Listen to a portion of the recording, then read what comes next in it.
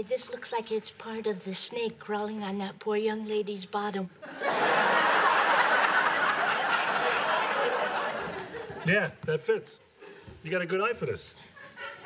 I think we're a good team. We're like Kareem and Magic Johnson.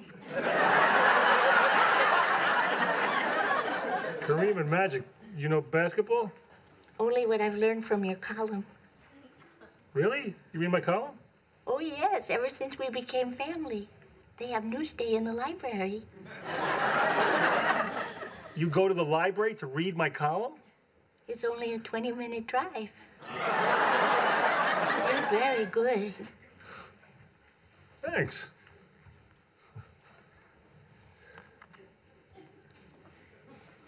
You know, I'm thinking of writing a book. You are? Yeah. Yeah, I tried writing books before, but I, I never finished them.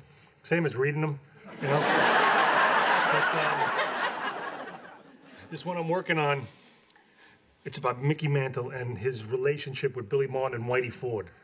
Do you know those guys? I've heard of Mickey. I don't know Billy or Whitey. Well, they were these great players, and they all hung out together.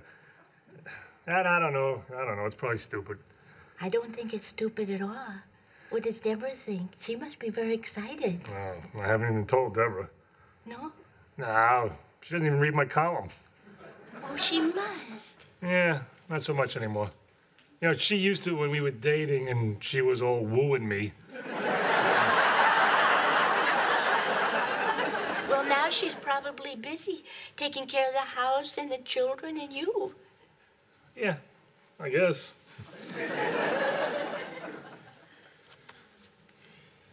You know what it could be?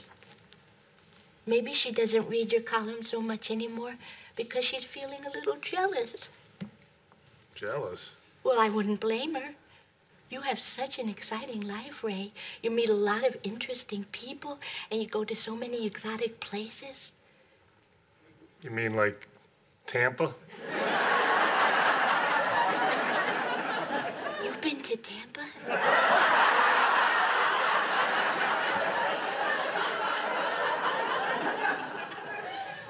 Couple times. Well, there you go. You know, sometimes I feel a little jealous of Hank's work. He's a high school principal. Vice principal. But you'd think he was the principal the way he always comes home with such interesting stories. And I just want to say, my gosh, what I would give to be a fly on the wall of that teacher's lounge. Excuse my language. That's okay. I like how you talk. I gotta tell you, you're a very perceptive person. And you like sports. Maybe you should talk to my mom. Well, I'm sure she loves your writing. Oh, she's another one. She still hasn't got over the fact that I didn't become a poet or an opera writer or her biographer. Well, your mother's a strong personality, but she has a good heart. I think in many ways, she's still just a little girl who's looking for acceptance and love. I never thought of her like that. I've always just thought of her as mom. Well, I'm a mom, Tammy, and Peter. No, I don't think so. You can't even do this. You're, you're too nice. Well, thanks, Ray. I think you're nice too. All right. Anyway, this section's all done. Should we keep going? Oh, I don't know. Well, why not? Yeah, why not? Yeah.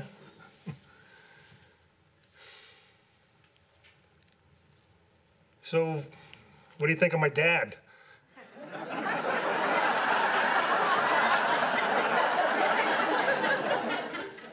I think we should finish the puzzle.